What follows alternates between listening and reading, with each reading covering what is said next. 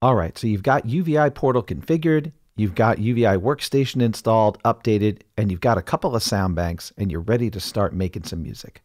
There's a couple of different ways that you can browse your libraries and presets.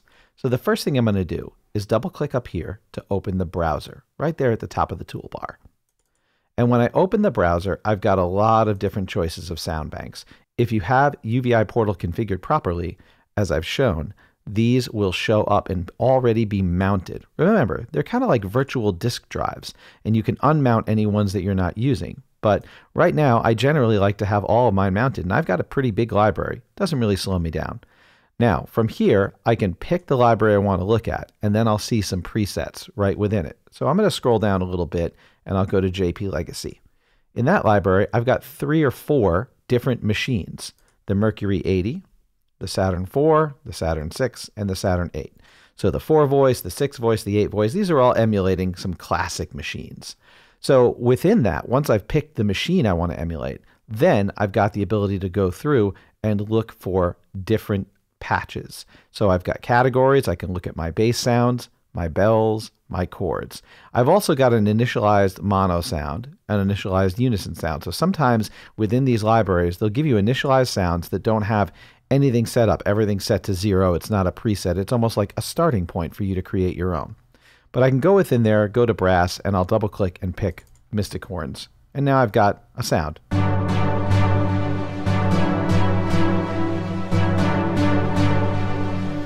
And it's working and ready to roll. That's not the only way that I can pick presets within UVI Workstation, though. Every instrument has a bit of a different paradigm to look at. So you might have an instrument where the presets are located right there within the browser. But don't get worried if the presets are not located within the browser. Just because it doesn't show them there doesn't mean that you don't have presets. For example, if I go to the instrument CSM, there's only one preset, and that is CSM. So I'll double click it and go, well, I guess everything is just analog and you turn the knobs and that's the way it is and there's no presets. Well, no. Up at the top of the screen, you'll see I've got a little preset drop down menu. And I can click there and there's my presets from within this instrument.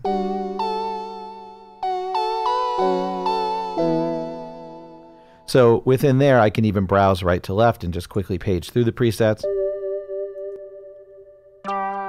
which is kind of nice as well. Now, there are some instruments that have a hybrid of this approach, so it's important to know that you've got a couple of different options. I'll go in and look at Beatbox Anthology, one of my favorite beatbox instruments.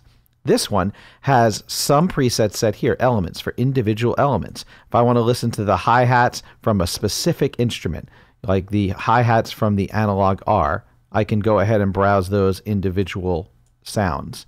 If I want to listen to specific loops from these instruments that have been sampled. So I can go to the OMB2 and hear the March Foxtrot loop. So if I want to open up individual loops or individual sounds, I can. But I can also open up the entire Beatbox Anthology instrument and from within there, navigate to my presets. So again, up here at the top of the toolbar, you'll see I've got a little preset drop down. I open it up, I pick a preset, and bam, I've got the ability to play.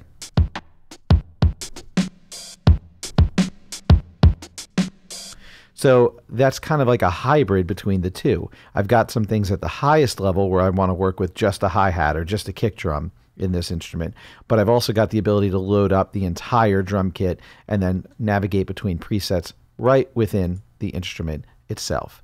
Those are our approaches for loading up different presets within UVI Workstation.